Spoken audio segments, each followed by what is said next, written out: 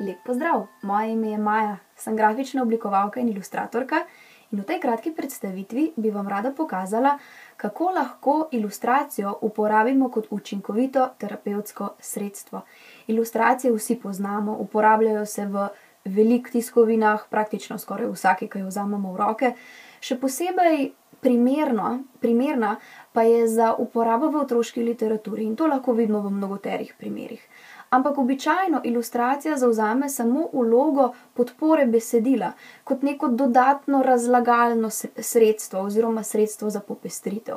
Kako pa lahko dosežemo, da ilustracija zavzame tudi vlogo terapevtskega sredstva, to bom pa pokazala preko naše knjigice, ki smo jo izdali pri društvu Ozara Slovenija. Knjigico je napisal avtor Krištof Leman, on je psiholog za otroke iz Danske. Midva sva se povezala preko spleta že leta dva tisoč sedem in sva eno knjigico že izdala. To je bila knjigica Mala sončna žarkica, ki se je prezgodaj zbudila in je bila namenjena otrokom, ki se, ki se spopadajo z nespečnostjo. To je bila luštno pisana knjigica, kjer je ilustracija dejansko služila kot razlagalni dodatek. V tej drugi knjigi, ki je namenjena otrokom, ki se spopadajo z bolečino ob izgubi starša, pa je ilustracija pokazala, da lahko zelo bolj efektivno pomaga pri tem, da se otroka res spodbudi, da si najde rešitev. načini, kako sem iskala primerna vizualna sredstva za upodobitev te knjigice, so izhajala iz sredstev, ki jih imamo ljudje na voljo, da se s takimi težkimi trenutki spopademo. Opazila sem namreč eno zelo pomembno razliko med, spopadanjem z dotičnim primerom pri odraslih in pa pri otrocih. Odrasli ljudje imamo na razpolago, kolikor sem jaz raziskala, tri nekako, tri sredstva, ki nam lahko pomagajo preko te težke izkušnje. In sicer prva razlika, ki sem jo opazila, je to, da odrasli izredno drugače doživljamo čas, kot ga doživljajo otroci. Imamo neki širši pogled na to, kaj življenje je. Razumemo, da je sestavljeno, je sestavljeno iz rojstva, iz življenja, da smo mladi, da odrastemo, da se staramo in da potem konec koncev pride tudi smrt. to je ena stvar. Druga stvar je racionalizacija. V težkih trenutkih si mi, odrasle osebe, lahko z umom razložimo ali pa utemeljimo, da so ti težki trenutki, ki jih doživljamo, sestavni del življenja. In takrat, ko nam je res, res težko, nam to lahko pomaga, da te ta prve trenutke lažje preživimo. Tretja stvar, ke nam je na voljo, je pa to, da znamo poiskati strokovno pomoč. Mi vemo zavrteti telefonsko številko, poznamo društva, poznamo terapevte, posameznike, ki nam lahko pomagajo, da se s tem učinkovito spopademo in to preživimo. Otrok vseh teh orodij nima. Kot prvo ima že pogled na življenje drugačen, zanj čas teče popolnoma drugače kot za nas, odrasle osebe. En vikend je za njega precej drugačna stvar kakor za nas, ke nam leto takole zbeži mimo. Racionalizacija je drugi problem. Otrok zelo težko razume abstraktna sporočila oziroma abstraktne ideje, kot je, kot je minevanje življenja. Nekaj takega, da nekoga nikoli ne bo nazaj, si on zelo težko razlaga. In, zato tudi tega orodja nima.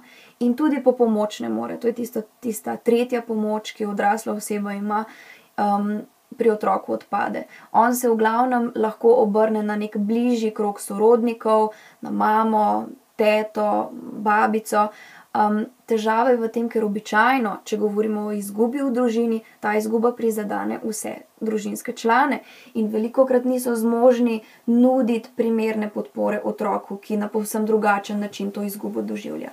Edino orodje, ki ga otrok torej ima na voljo, da si lahko pomaga iz take težke izkušnje, so njegova čustva.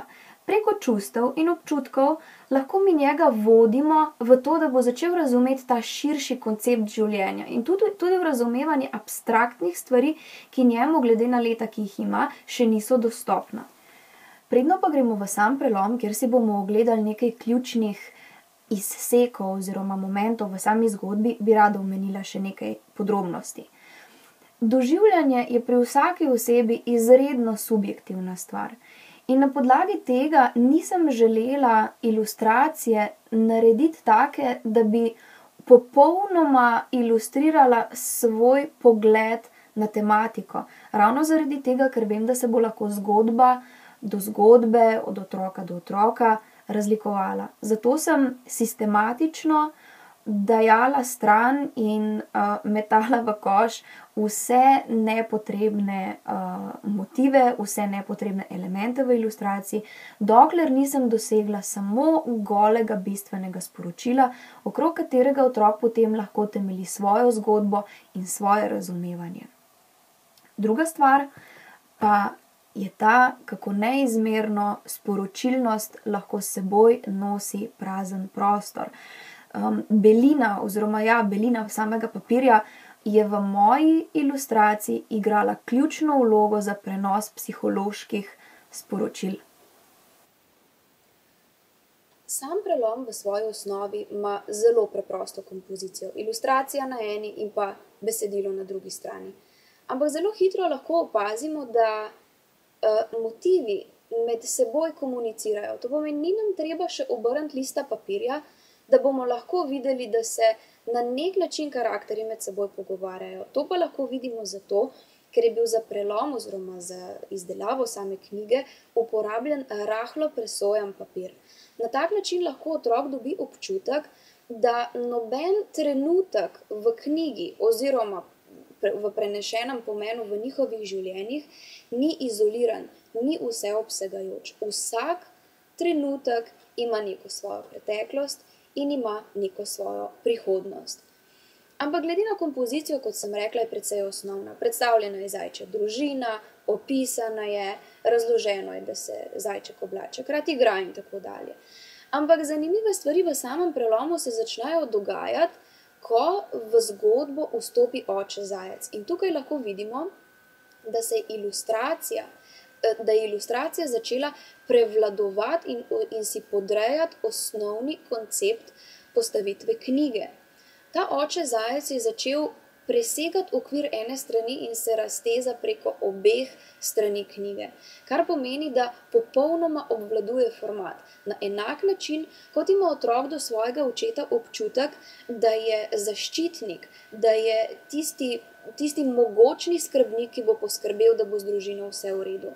Na tak način je bila knjiga kreirana skozi cel svoj potek. In ustavila se bom še na nekaj ključnih trenutkih. Eh, rada bi vam pokazala trenutek, ko zajček ostane popolnoma sam. In tukaj lahko točno vidite, ko sem razlagala o tem, kakšno veliko sporočilnost lahko s seboj nosi prazna stran, torej belina na strani. Če bi tega zajčka narisala čez celo stran, bi razumeli samo to, da je žalosten. Če ga pa umestimo samega, malega na format, pa lahko dobimo širši občutek za to, kako res pretresljiva in globoka stiska tega otroka, tega malega zajčka je. Tale ilustracija je precej podobna tisti, ta prvi, kjer je bil oče upodobljen na dveh straneh. Tudi ta ilustracija in tudi tukaj zajček skuša obvladovati format in zato se motiv širi na obe strani preloma.